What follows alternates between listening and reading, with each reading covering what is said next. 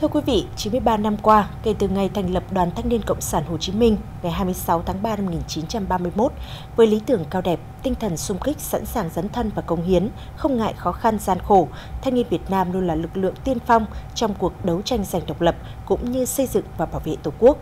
Tinh thần đâu cần thanh niên có, việc gì khó có thanh niên đã trở thành lẽ sống và hành động của các thế hệ thanh niên Việt Nam. Từ một chàng trai là công nhân vệ sinh môi trường, âm nhạc đã dẫn lối để Nguyễn Đức Cường, hay còn được biết đến với cái tên Đen Vâu, trở thành một rapper tỏa sáng trên lĩnh vực văn hóa nghệ thuật. Nhưng đặc biệt hơn, người hâm mộ còn biết đến anh với một hành trình sống, cống hiến, truyền cảm hứng mạnh mẽ.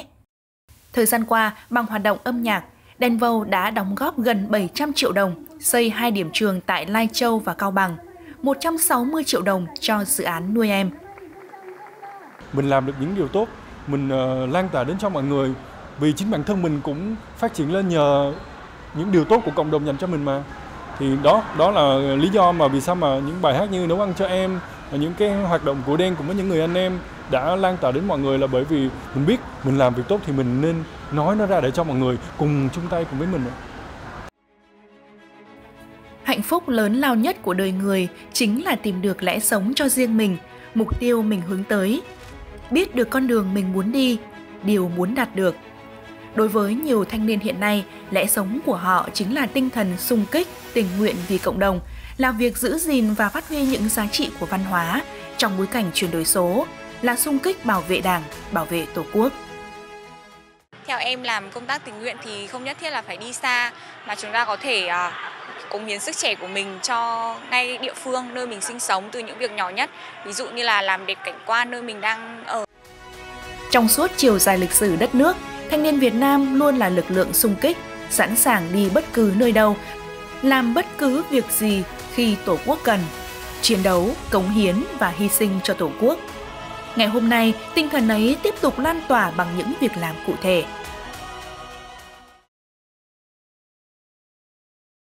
Bất cứ làm công việc gì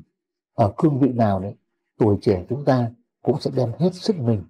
để cống hiến cho tổ quốc để xứng đáng với một một cái thế hệ thanh niên được rèn luyện thử thách trong trong đấu tranh trong thực tiễn đổi mới để ngang tầm với khu vực và thế giới. Không ngừng phát huy truyền thống tốt đẹp, hàng triệu đoàn viên thanh niên nối tiếp nhau xung kích, dấn thân trên mọi mặt trận, ở những nơi mà phong trào đoàn đi qua, những chương trình ý nghĩa tiếp tục được duy trì và phát triển lớn mạnh năm này qua năm khác. Những mầm xanh đẹp đẽ đâm chồi nảy lộc lan tỏa trong cộng đồng. Nhằm cập nhật thông tin về nguồn vốn đầu tư nước ngoài FDI trên thế giới và khu vực, đánh giá khách quan về hoạt động FDI tại Việt Nam, lễ công bố báo cáo thường niên FDI năm 2023 do Hiệp hội Doanh nghiệp Đầu tư nước ngoài tổ chức đã diễn ra vào sáng nay tại Hà Nội. Báo cáo thường niên FDI năm 2023 cho thấy vốn đầu tư nước ngoài FDI đổ vào lĩnh vực tăng trưởng xanh tại các nước đang phát triển, tăng tới 37% so với năm 2022. Tại Việt Nam, doanh nghiệp FDI và doanh nghiệp trong nước đã đầu tư khoảng 9 tỷ đô la Mỹ trong các ngành liên quan đến tăng trưởng xanh như năng lượng tái tạo, xử lý chất thải rắn, nước thải, khí thải, sản xuất máy móc, thiết bị phục vụ cho kinh tế xanh, chiếm khoảng 2% GDP với tốc độ tăng trưởng bình quân hàng năm là 10 đến 13%. Một số chuyên gia cho rằng để tăng sức lan tỏa của dòng vốn xanh này thì nội lực các doanh nghiệp trong nước cũng cần phải cải thiện. Việt Nam cần hoàn thiện thể chế, đổi mới tư duy hành động, đồng thời hướng dẫn thực thi nghị quyết thuế tối thiểu toàn cầu đã được Quốc hội thông qua. Sáng nay, bà Susan Burns, Tổng lãnh sự Hoa Kỳ tại thành phố Hồ Chí Minh đã đến thăm và làm việc tại thành phố Đà Nẵng. Phát biểu tại buổi tiếp, Phó Chủ tịch Thường trực Ủy ban nhân dân thành phố Đà Nẵng Hồ Kỳ Minh chào mừng bà Susan Byrne, Tổng lãnh sự Hoa Kỳ tại thành phố Hồ Chí Minh đến thăm và làm việc tại Đà Nẵng, đồng thời cảm ơn sự hỗ trợ của chính phủ Hoa Kỳ với Đà Nẵng thông qua những chương trình, dự án hợp tác cụ thể trong thời gian qua. Phó Chủ tịch Thường trực Ủy ban nhân dân thành phố cũng bày tỏ mong muốn hai bên cùng thúc đẩy hợp tác, đầu tư trong các lĩnh vực như giáo dục, du lịch, khoa công nghệ, cảng biển và sẵn sàng hỗ trợ tạo điều kiện thuận lợi cho các doanh nghiệp Hoa Kỳ đến đầu tư tại Đà Nẵng. Trao đổi tại buổi tiếp, bà Susan Byrne, Tổng lãnh sự Hoa Kỳ tại thành phố Hồ Chí Minh bày tỏ vui mừng về quan hệ hợp tác hữu nghị giữa Việt Nam và Hoa Kỳ ngày càng phát triển. Đây chính là cơ sở để hai bên cùng xác định và đẩy mạnh hợp tác trong các lĩnh vực tiềm năng, tăng cường sự hiểu biết giữa nhân dân hai nước.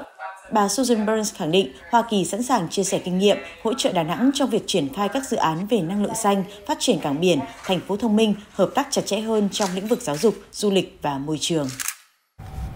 Thưa quý vị, ngày hôm nay Sở Du lịch và Hiệp hội Du lịch Thành phố Hồ Chí Minh đã công bố tổ chức Ngày hội Du lịch Thành phố Hồ Chí Minh lần thứ 20 năm 2024 với chủ đề 20 năm hành trình sống động nhằm tạo điều kiện cho các địa phương doanh nghiệp tiếp cận và giới thiệu các sản phẩm, dịch vụ du lịch đến với du khách, đồng thời kích cầu du lịch nội địa dịp hè 2024.